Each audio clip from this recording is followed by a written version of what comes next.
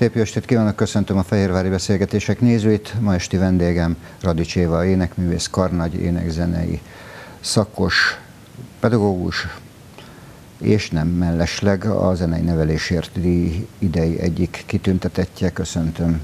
Jó estét. Jó estét kívánok. Mielőtt beszélgetnénk, azért megmutatom, igen, ez a zenei nevelésért díj, kuratórium által adományozott oklevél, nem lehet egészen boldog az ember, akinek nem öröm a zene, erre az örömre azonban tanítani kell az emberiséget, mert magától nem jut odáig.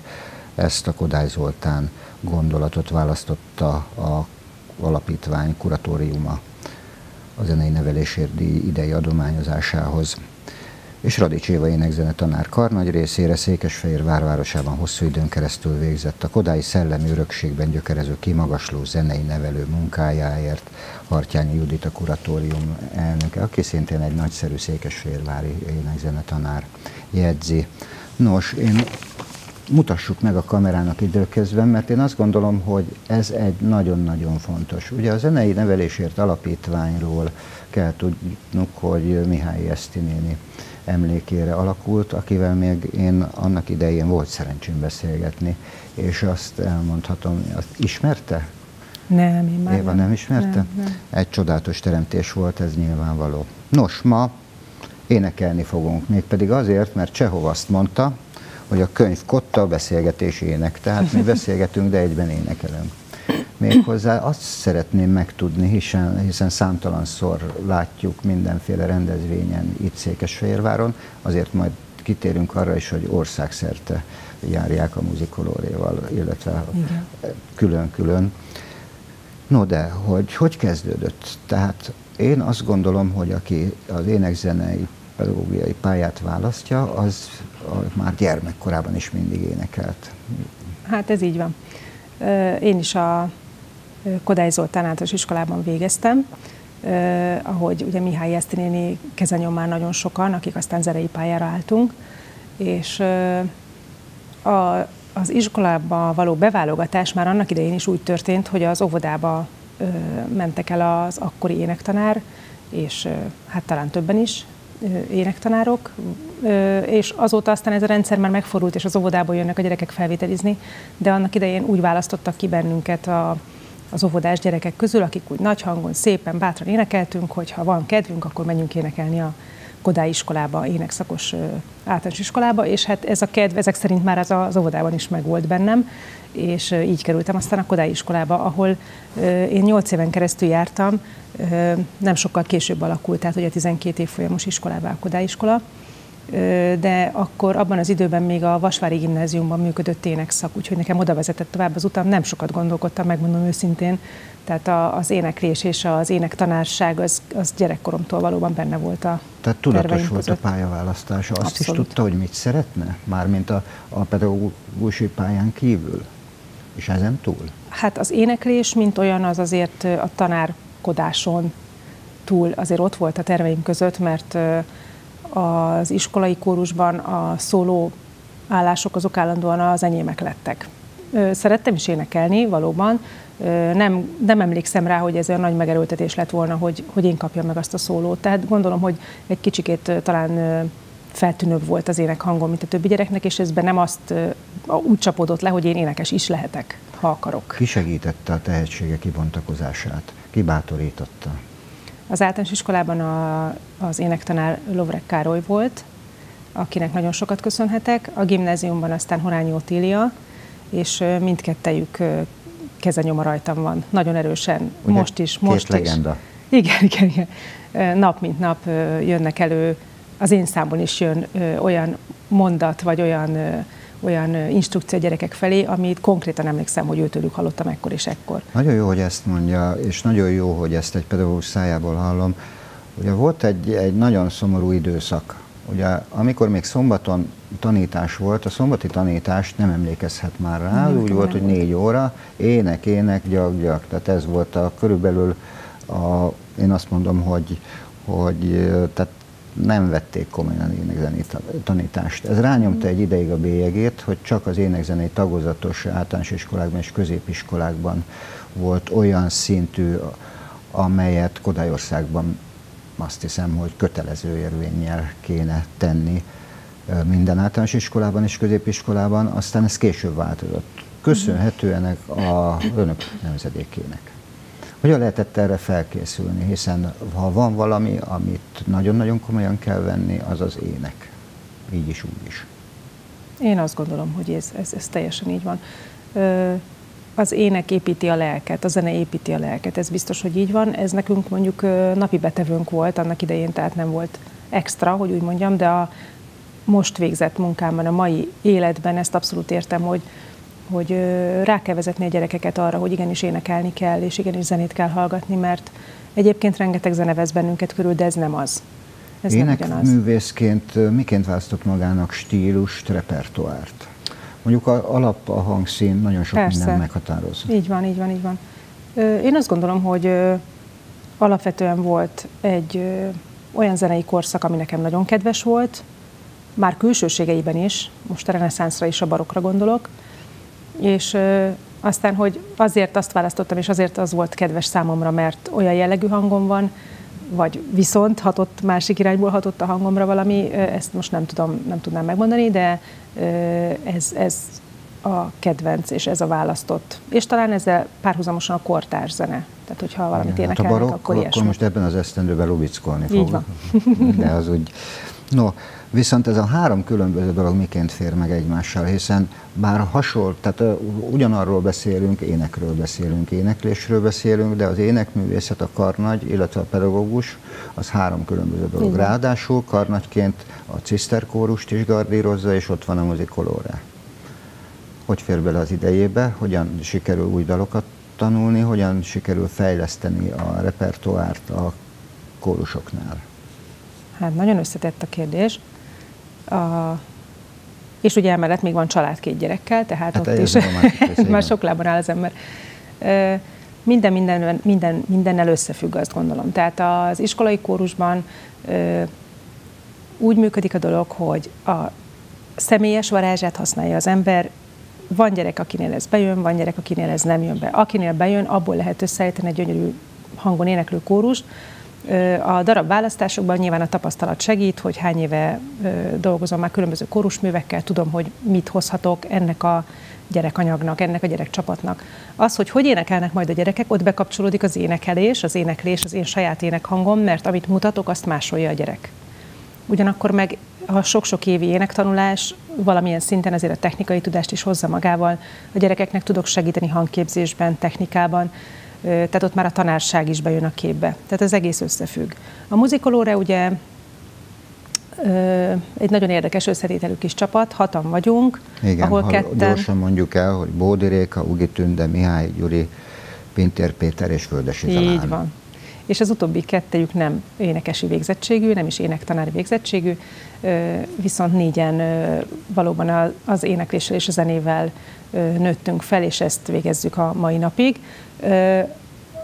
ez már egy olyan szintű dolog, főleg úgy, hogy én élkelek benne, hogy nagyon sokszor szükségem van külső fülre. Valakire, aki segít, aki meghallgatja kívülről, hogy most éppen mi szól. Tehát én vagyok művészeti vezetőnek kikiáltva, de én nagyon sokszor kérem a többieket is, hogy, hogy együtt dolgozzunk és együtt rakjuk össze a dolgokat, mert éneklés közben nagyon sokszor nem tudok mindenre figyelni, nem tudok mindent hallani, és ha versenyre megyünk, vagy nagy koncertre készülünk, és mondjuk nem pont a városon belül, akkor sokszor kérünk segítséget ö, olyan emberektől, akár Horányi Otiliától is, vagy mondjuk ö, más ö, neves gimnázium énektanártól itt a városban, aki tud nekünk segíteni, egy-egy pontot ö, picit megjelöl, és már is tudjuk, hogy hogyan tovább. Nagyon Remek fontos. a kórusa egyébként, hiszen most a díjátadón volt szerencsém. Egyébként is ismerem a Fehér Holló okán a cisztert és diákok zömét, de nagyszerűen énekeltek. Ami viszont meglepett, és ez megint csak pozitív erős, megerősítésem, a szakmai elismerés az mindenképpen, hogy hát példátlan vastapsot kap. Szeretik a gyerekek? Azt, Azt hogy, hogy szereti a gyerekeket, a fiatalokat, az egészen bizonyos. Én szerintem ez oda-vissza működik. És akkor, ha már párhuzamot vonunk, ennek tükrében jó tanár? Éva. Hmm. Hát a gyerekeket kéne megkérdezni. Miként látja kívülről magát? Hát nyilvánvaló van már elég tapasztalat és rutin, de nyilván a rutinból nem lehet tanítani, azt elfelejthetjük. Én még nem gondolom, hogy elértem azt, amit elterveztem annak idején tanárként.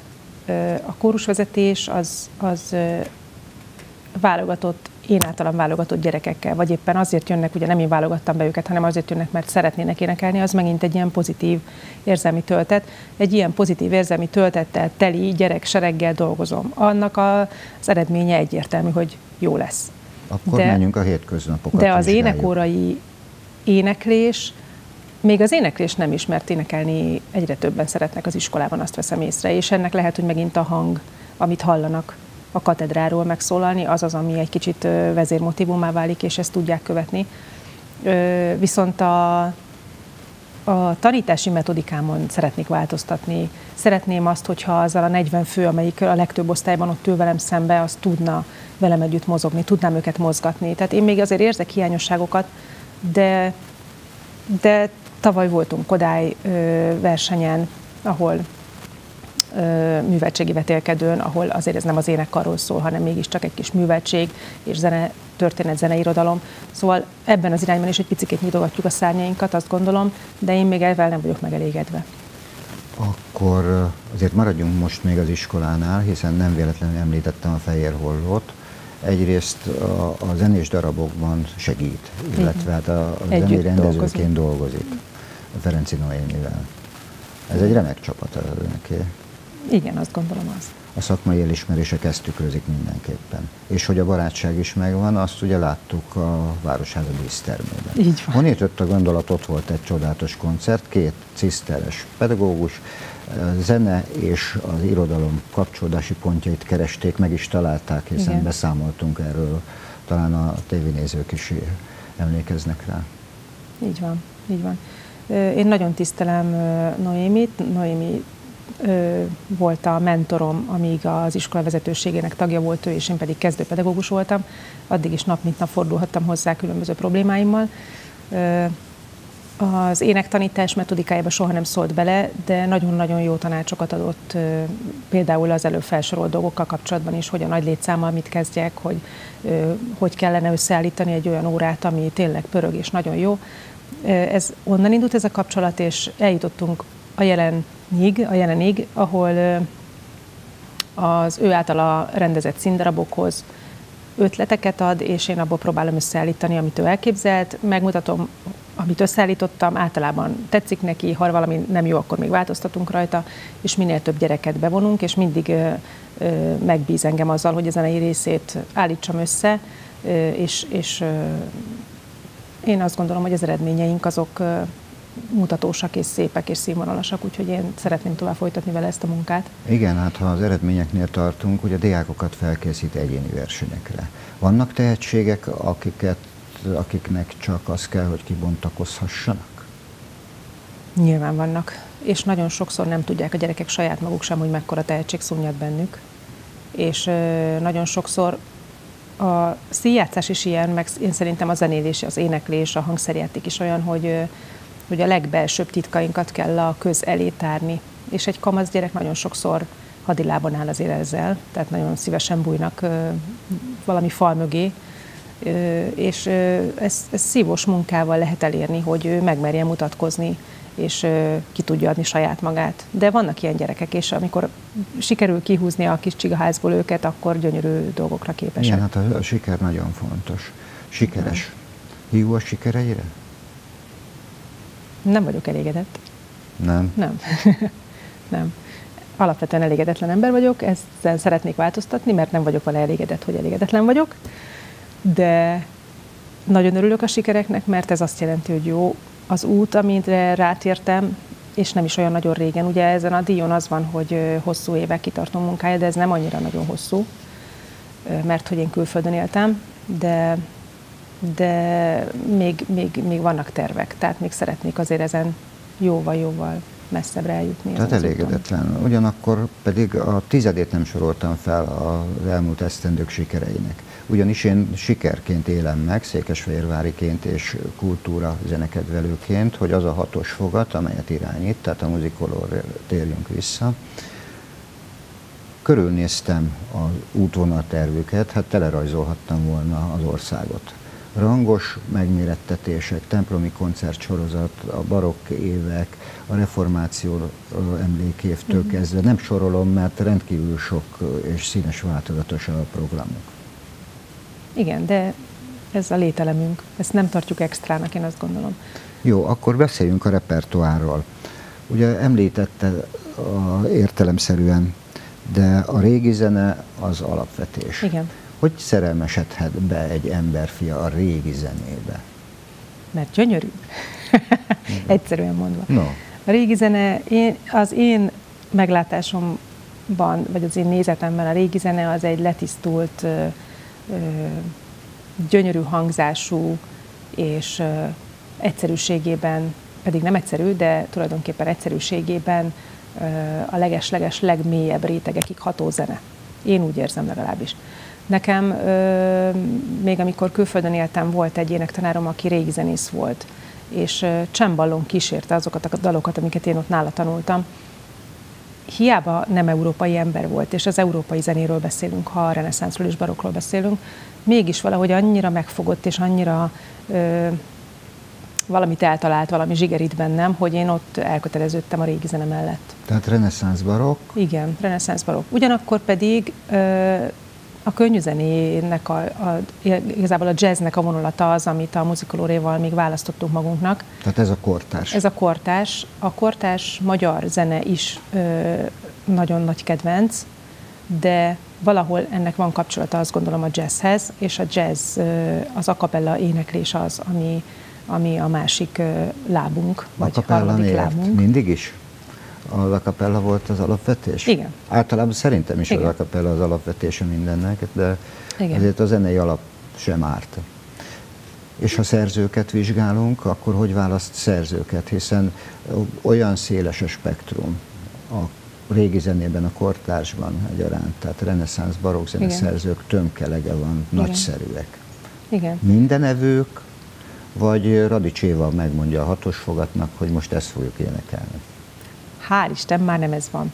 A repertoárunknak a nagy részét én választottam, és én hoztam a próbákra, és aztán nagyjából az összeset el is fogadták a többiek, és ez, ez repertoáron is van, de az utóbbi időben elkezdtünk közösen dolgozni, mert hogy ugye minél szertágazóbb az ember munkája, annál kevesebb figyelem jut egy-egy apró kis részre, és most jött el az a pont, amikor rájöttek a többiek is, hogy, hogy segíteniük kell nekem, vagy én nem tudom, tehát nekik is ki kell venniük a részüket, és hozzák, hozzák ők is az ötleteket.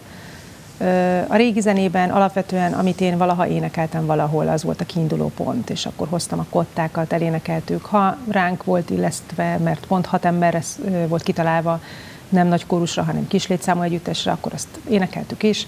Volt olyan darab az idők során, amit letettünk, mert nem, nem állt jól nekünk, vagy nem tudtunk szépen énekelni. Most például megyünk egy tőlünk viszonylag idegen ö, kornak a, a fesztiváljára, ez romantikus fesztivál lesz majd októberben, Veszprémben. Ö, például a romantikus kórusművek, azok nagy létszámú kórus, kórusokra vannak inkább írva, tehát ott nagyon utána kell nézni, hogy mi az, amit mi bevállalhatunk és elénekelhetünk, de ebbe is belekostolunk. Mindig szólóban és kamarakórusban gondolkodott? Amikor a, a saját produkciójáról beszélünk természetesen, hiszen a, az iskola kórus az nagy kórus természetesen. A nagy létszámú kórusban való éneklés is érdekel, de azt vezetni nem szeretném feltétlenül. Tehát az abban való éneklésnek is megvan a varázsa. Mondjuk egy, egy nagy országos kórusnak, vagy egy egyesített, nem tudom hány kórusból álló, de annak ugye megvan a, veszélye, hogyha sok kórus van összeeresztve, akkor ott a különböző színvonalak, a különböző szintek egy ilyen kis valami kavarcot is eredményezhetnek. Nem erre gondolok, hanem hogy mondjuk egy ilyen magas szinten, az éneklés magas szinten űző emberekből 80-an összeállnak, és abból lesz egy profi produkció, az mondjuk nagyon érdekelne. De én saját magam ilyet vezetni nem kívántam volna. Értem. Székesfehérvár jó úton jár énekzene szempontjából feltétlenül, kórusok szempontjából nem különben. Ugye nem kell az Alba Régia Vegyeskar, Kodály, számtalan kicsi kórusat, tehát a töpörtyűktől egészen a, a Knejfel Imre kórusáig, aztán ott van a Telekinek remek kórusa Igen. van, tehát a Ciszterben nem különben, azt hiszem, hogy jó út. Ugyanakkor remek tanár egyéniségek segítették ezt az utat, hiszen a Somorjai Feri bácsi, aki engem még a Telekiben tanított, a Vasváriban pedig Hartyani Judit, uh-huh. Szenkovics Szilvét, tehát uh-huh. nem sorolom uh-huh. fel, mindenütt remek tanárok voltak. Mi kell ahhoz, hogy ezeket a tanárokat pótoljuk? Van egy olyan nemzedék önökkel a élen, akik valóban azt az eleve elrendelést beteljesítik, amit elkezdtek a somorjai Feri bácsiék, Órányi Otti nénivel. Mm, hogyha a saját életemet gondolom, vagy a saját példámat hozom fel, akkor azt gondolom, hogy a székesfehérvári ö, nagy zenetanár egyéniségek munkájában gyökerező múltam, az én múltam. A, a tanulmányaim során különböző nagy tanár egyéniségektől összeszedett plusz tudás, és aztán a hazai földbe való visszavágyás. Ez a három dolog, ez eredményezni fogja azt, hogy én a múltat tiszteletben tartva, egy kis újat hozzátéve szeretnék haladni tovább ezen az úton. Én azt gondolom, hogy azért icipici frissítésre szükség van. Tehát nagyon örülök ennek a díjnak, nagyon boldog vagyok, hogy a zenei nevelésért díjat megkaptam. De én azt gondolom, hogy azt a kodályi elvet, amit annak idején Kodály kitalált, és amit követünk, alapjaiban követünk, még a Ciszter iskolában is, ahol pedig ugye általános tantervőjének oktatás folyik, egy pici modernitással meg kell fűszerezni, mert változnak a gyerekek. Mit jelent a modernitás? nem feltétlenül csak a régi kórusműveket énekeljük, hanem hozok be újabbat, hozok be ide is jazzes valamiket ebbe az iskolai kórusba is. És a gyerekek úgy, úgy vevők a régi dolgokra, most a régit nem a nagyon régi zenére gondolok, hanem Kodályra, Bárdosra, azokra a kórusművekre, amiken én nőttem fel, és amiket jónak találtam, de nem feltétlenül a mai generációnak, azokat úgy tudom elénekeltetni a gyerekekkel, hogy, hogy az ők általuk kedvelt modern zenét is, könnyű zenét is, filmzene feldolgozásokat, egyebeket is beteszek, és akkor a serpenyőnek megvan a két mérlegében az egyenlőség. Egyértelmű. Ugye ott még leragadtunk egy kicsit, hogy elégedetlen önmagával, elégedett azzal a szinttel, illetve nem is feltétlenül erről beszélt. Ezért aztán nagyon kíváncsi vagyok, hogy melyik az a szint, amit mindenképpen szeretne elérni. Adott esetben ne években számoljuk, de mi a legnagyobb különbség a mai Radicséva és az esztendők múltán, amikor majd elégedett lesz önmagával, azzal a Radicsévával? Hát nagy, nagy célom, nagy célom, hogy az iskolai énekoktatásba valami olyan újat tudjak behozni, ami, ami az előbb elmondattak. Tehát, hogy a múlton alapuló, modern, a múlton alapuló, a múlt értékeit megtartó és a gyerekekkel elfogadtató, mert igenis meg kell nekik mutatni, mert nem tudják. A mai generáció nem ebben nő fel, tehát ő nekik meg kell mutatni, és az értékeit az ő nyelvükre lefordítva el kell tudni fogadtatni velük, de ugyanakkor rugalmasnak kell lenni annyira, hogy az ő világukat is be tudjam, én, mint tanár be tudjam fogadni, és a kettőből tudjak valami újat kihozni. Ez a mostani ö, rendszer, amiben én is, én magam is tanítok, ez még nem ez. Ez egy misszió. Uh-huh. Tesz érte? Mi a metodikája egy ilyen változásnak? Ez nem kis változás. Igen. Ö, sokat beszélgetek a gyerekekkel erről.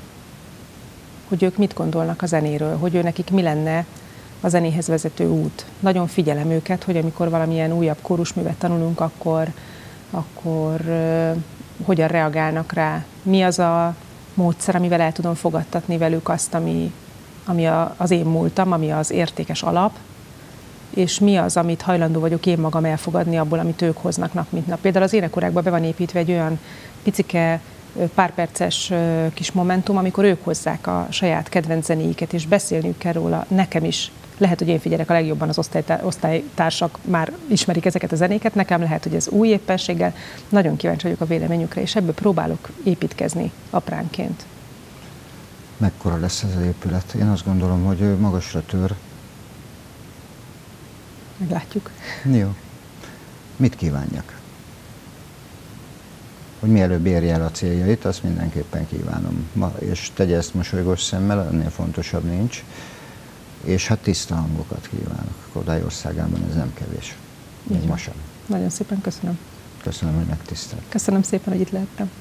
Kedves nézőink, a fehérvári beszélgetéseket látták. Vendégem Radics Éva volt az idei zenei nevelésért kitüntetettje. Maradjanak továbbra is velünk, minden jót kívánok. Viszontlátásra!